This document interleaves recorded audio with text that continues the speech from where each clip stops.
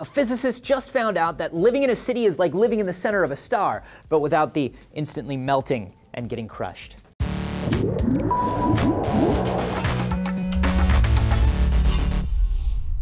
Anthony here for D News, and I love finding similarities between our daily lives and the way the universe works because it makes me feel more connected to things. And on a scientific level, if you can figure out how a system works, you can predict its behavior more accurately and figure out how to improve it. So, something that's always fascinated me is the idea of cities. Like in the past, the way cities work has been compared to river networks or insect colonies. My favorite comparison is the city as living organisms. So, this theory's been around forever. Time magazine published a story about cities as biological things back in the 40s. And in 2011, there's this TED talk from physicist Geoffrey West, and he went looking for the similarities between the growth of cities and the growth of living things. As organisms get bigger, the pace of their life decreases. Heart rates get slower, lifespans get longer, they run through their resources slower. But West found that cities work in the exact opposite way. Every time you double their size, the pace of things increases. There's more income, more wealth, more colleges, but also more crime, more sickness. So cities aren't like organisms. What are they like? What sort of system can we use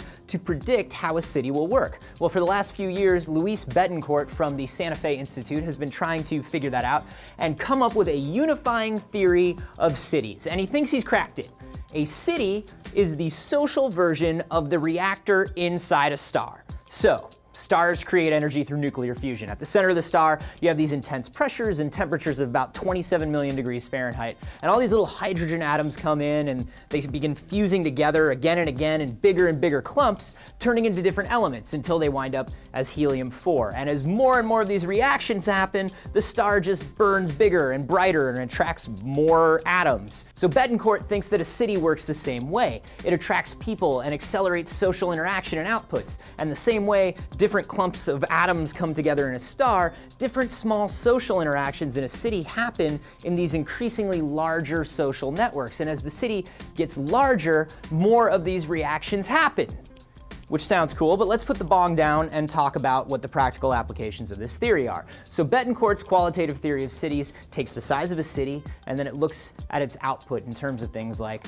patent applications and social interaction, meaningful output, and how all that stuff fits together lets him predict things like how productive that city will continue to be, how many people are going to move away, stuff like that. So he says that the most important things a city can have are the ones that make it easy for people to connect public transportation, a reliable power grid, shared spaces. So city planners and policymakers can plug their city's numbers into this formula and figure out what they need to add to keep their city growing meaningfully.